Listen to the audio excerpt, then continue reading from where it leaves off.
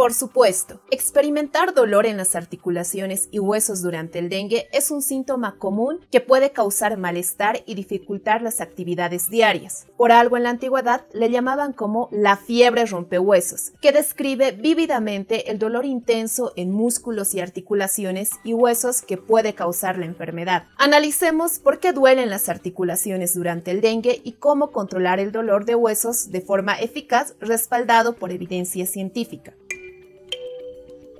Este dolor se debe a varios factores. Número 1. Invasión viral. El virus del dengue infecta varias células del cuerpo, incluidas las células de los vasos sanguíneos y las células de la membrana sinovial. La membrana sinovial es un tejido que recubre el interior de las articulaciones con el fin de producir un líquido gelatinoso conocido como líquido sinovial. Este líquido se encarga de lubricar las articulaciones y disminuir el roce entre el cartílago y todas las estructuras en el interior de una articulación. Esto evita que haya dolor cuando doblamos o extendemos cualquier articulación. En el dengue, al existir invasión viral de las células sinoviales, da lugar a inflamación de esta membrana que provoca hinchazón, rigidez y dolor en las articulaciones. Número 2. Respuesta inflamatoria. Durante esta batalla interna, cuando el cuerpo lucha contra el virus del dengue, nuestro sistema inmune libera varias moléculas llamadas citoquinas que promueven la inflamación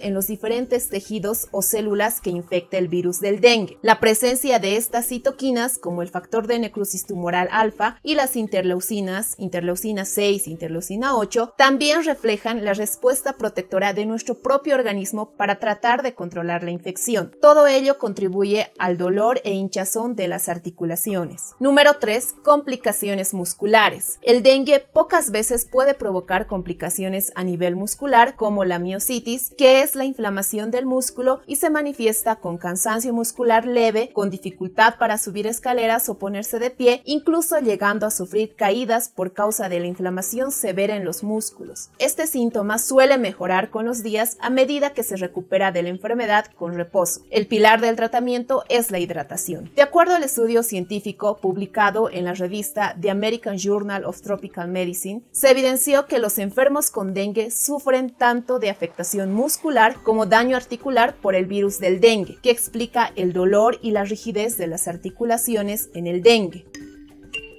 ¿Qué hacer para tratar el dolor de huesos durante el dengue? Si bien no existe una cura específica para el dengue, existen formas de controlar el dolor articular y muscular y prevenir complicaciones. Aquí hay algunos pasos respaldados científicamente comprobados. Manténgase hidratado. La hidratación adecuada es crucial para respaldar la respuesta inmune del cuerpo y mantener la salud de las articulaciones. Consuma mínimamente 2 litros de agua al día o consuma bebidas ricas en electrolitos como las sales de rehidratación oral. Recuerde que en las articulaciones tenemos el líquido sinovial y al hidratarse de manera adecuada favorecerá la producción de líquido sinovial que ayudará a reducir la inflamación y mejorar el movimiento de las articulaciones. Descanse. Es vital el descanso para ayudar al cuerpo a combatir el virus, ya que el cuerpo necesita emplear toda la energía posible para recuperarse. A nivel de las articulaciones, el descanso ayuda a reducir el estrés y la inflamación articular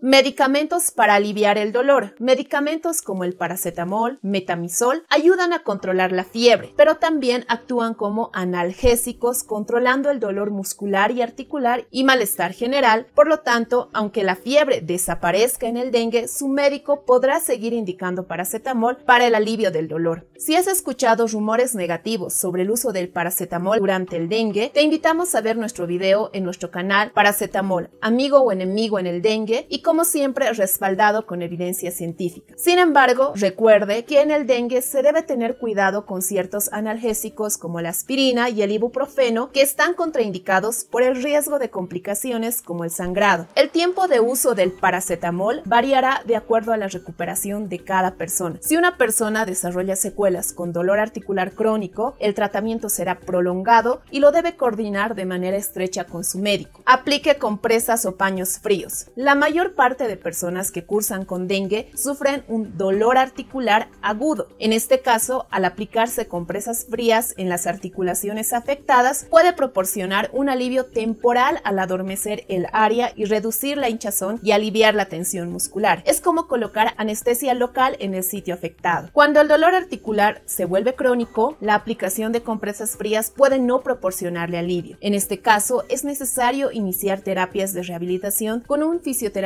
quien podrá utilizar técnicas basadas en calor, ultrasonido o estimulación eléctrica que ayudarán en la recuperación a largo plazo. Para terminar, el dolor en las articulaciones del dengue generalmente mejora a medida que el virus desaparece del cuerpo. Si permanece más allá de las tres semanas, podría tratarse de una secuela, pero con el tratamiento adecuado se puede controlar y se logra la recuperación completa. Y si bien el dolor puede resultar abrumador, es la forma que tiene su cuerpo de decirle que está en una feroz batalla contra el virus del dengue. La mayoría de las personas se recuperarán sin efectos a largo plazo. Por lo tanto, mantente fuerte hidratado. Si esta información aportó tu conocimiento, dale me gusta al video, suscríbete al canal y toca la campanita de notificación para que recibas información de los próximos videos para otras afecciones. Recuerda que esta información en formato textual estará disponible en nuestra web en www.dimedinet.com que te lo pondremos en la descripción o en comentarios. Nos vemos en un nuevo video.